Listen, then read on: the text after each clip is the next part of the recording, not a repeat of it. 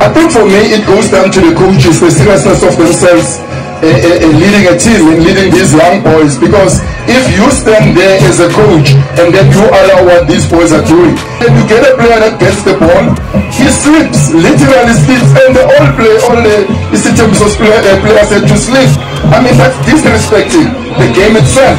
You know we can have jokes we can have all of this but what was happening in the morning I think it's something that I can tolerate I cannot tolerate. And I think it goes to the coaches that are leading those teams, you know, and that's what that, that doesn't sit well with me because we want to unearth talent. We want to see the next Helman Mkhalele, the next The next Pollen Ndlanya. This is where we come from. So let's respect the game and make sure that anybody who's seated out there with the opportunity of being broadcast live, people watch and they want to look for that player. But if they see what they see here, they'll just tell you we don't want to waste our time because there is nothing that you'll get when football is played like this.